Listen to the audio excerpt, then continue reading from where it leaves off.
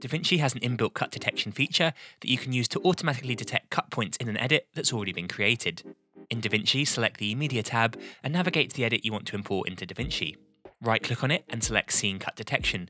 A new window will appear, and here you need to click the Auto Scene Detect button. DaVinci will run through the edit and create markers where it thinks there is a cut between clips in your footage. When finished, the longer the line displayed, the bigger the difference between the two clips. You can move the pink bar in this window up or down, and any line above the pink bar will be highlighted green and confirmed as a cut. Any line below will turn grey and won't be marked as a cut. You can scrub back through this window and manually check cuts are in the right place.